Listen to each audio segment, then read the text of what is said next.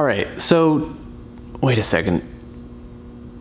Something feels a little different. Oh God, where am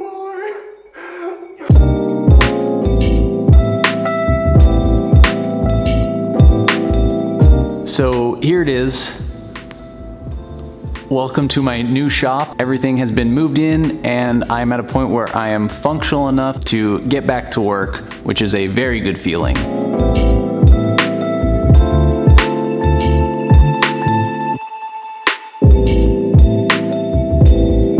So I figured for this video I would give a quick tour of the shop and also talk about some of the details and kind of my thinking about how I have it set up. I would also love to hear some suggestions or ideas on things as I still have a lot of work left to do, but we will get to that in a minute. Before we check everything out, here are the overall specs of the space. The shop area is about 20 feet wide by 40 feet long. So it's about five feet wider and 10 feet longer than my previous shop. And my previous shop also had a bathroom in one corner, which took up quite a bit of space. But it doesn't really sound that much bigger on paper, but I can tell you in person, it makes a huge difference.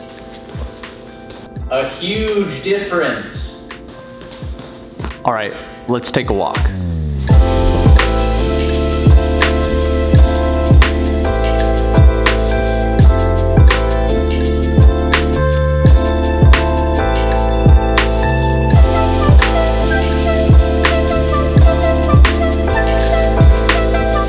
Figured the front door is an obvious place to start, and strangely enough, it is one of my favorite parts about the new place. My old shop's front door opened straight into the office space, and then from there, there was a door into the shop area, which meant I had to leave the door between my shop and the office open most of the time in case someone came to the front door. And that meant that the front office was usually covered in dust and kind of a mess. So with this setup, I can leave the doors between the shop and the office closed and sealed up while still being able to see if anyone is stopping by. All right, from the front door, let's move to the left-hand wall where I have all of my machines.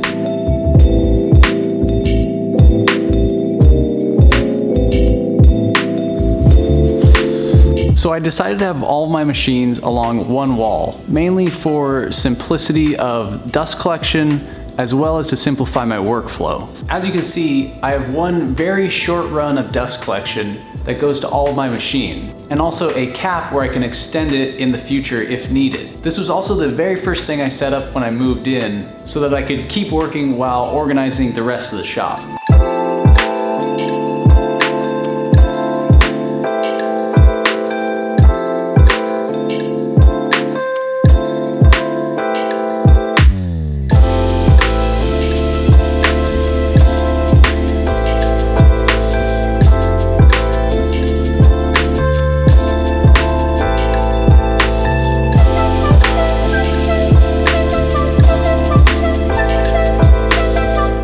Process for having it organized this way is that the amount of shifting around my shop will be minimized. The process of bringing in new lumber to the shop is similar to my old space, where lumber first gets the balance test, then enters my shop, gets cut to rough length, then jointed, planed, and ripped on the table saw.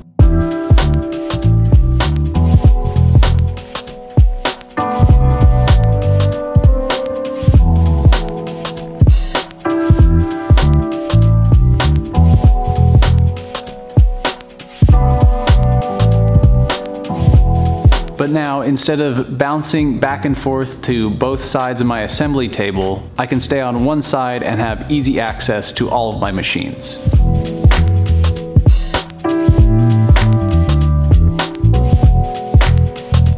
Now with that being said, I have this large open space, which I actually really like. But I plan to build another table here, which will allow my current assembly table to stay much more clear and not get in the way of my table saw as much. I also plan to move Greg, my X-Carve machine, to this new table and give him a much nicer setup. So for this table, as well as lumber storage and whatever I'm gonna do in that corner, I'd love to hear some feedback or maybe some ideas. I definitely think for the lumber storage, I want to do a vertical system as opposed to the horizontal system I had in my old shop and I just want to kind of try something new. But that will be down the line in the hopefully not too distant future. Anyway, once I had the machines and dust collection up and running, I focused on making this place look a bit more familiar.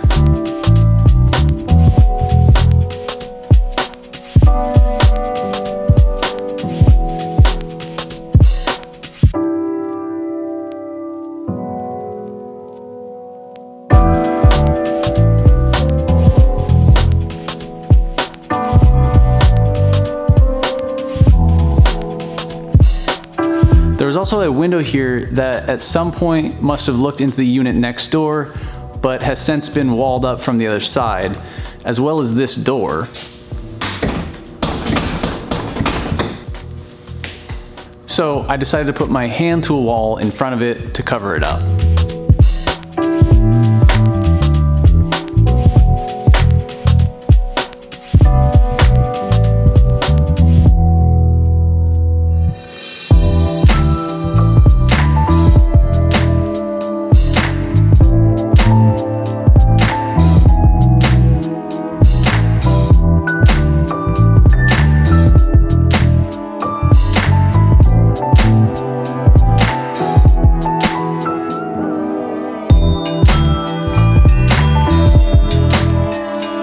To that, I put my rolling tool chest as well as the cabinet from my old shop. That's probably where they will live for now, and we'll see if I eventually move them at some point. I also made this super trick clamp rack.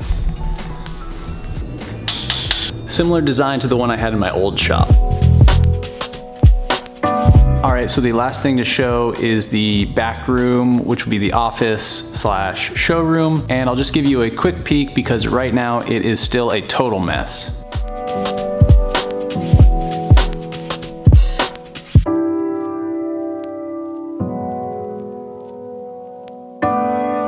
And one last thing is this mysterious side door.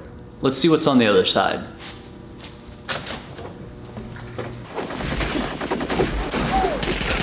I just always wanted to open a door to a room where people are being trained like in James Bond movies. Wicked. Yeah.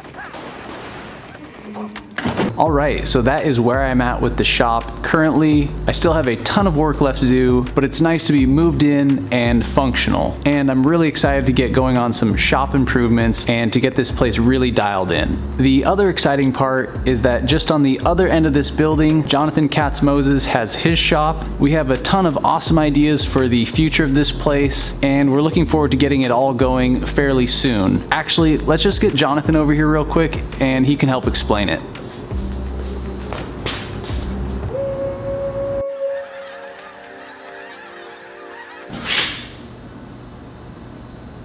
All right, Jonathan, so give us the quick rundown. So what we're doing here, we Shaun and I found this building that has a lot of space, and we're creating a place for other YouTubers to come and teach classes, and it's going to be in the form of long form online videos. Uh, there'll be some in-person classes as well, and we'll have the opportunity to basically create a maker space for content creators where we can share our love of teaching with you guys. And I think if you head over to my channel and hopefully subscribe. You'll be able to follow along with that journey. And I think it's gonna be a lot of fun and we're gonna be able to put out a lot of really cool content. And it, it's really, it's gonna be a good time, so. All right, well, thank you, Jonathan. Uh, I will sound the funnel if I need you again. Awesome, and if I'm not here in 30 seconds, just wait longer.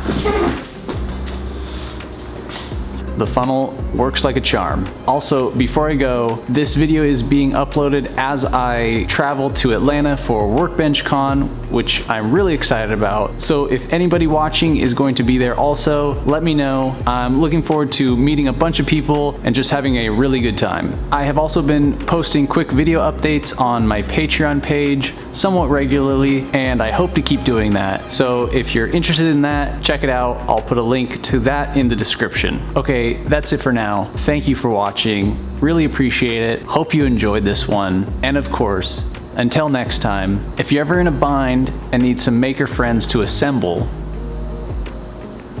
go ahead and sound the maker call funnel.